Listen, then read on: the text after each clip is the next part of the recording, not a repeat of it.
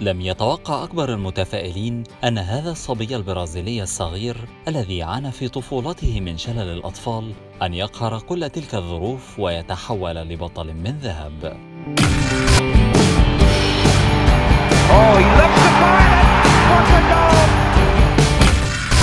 اسمه الحقيقي مانويل فرانشيسكو أجرى عمليات جراحية في قدمه لكي يتمكن من المشي فقط وليس ليمارس كرة القدم. والمفاجأة أن العمليات الجراحية التي خضع لها أسفرت عن اختلاف في طول ساقيه ليصبح شبه أعرج.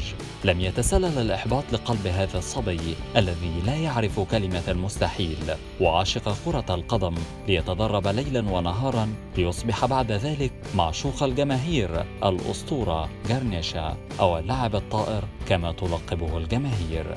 حقق جارنيشا مع البرازيل كأس العالم عام 1962 والذي شهد تألقا غير مسبوقا له. ولم يتخيل أي شخص مقرب منه ويعرف حكايته أن يصبح أسطورة السامبا بعد ذلك.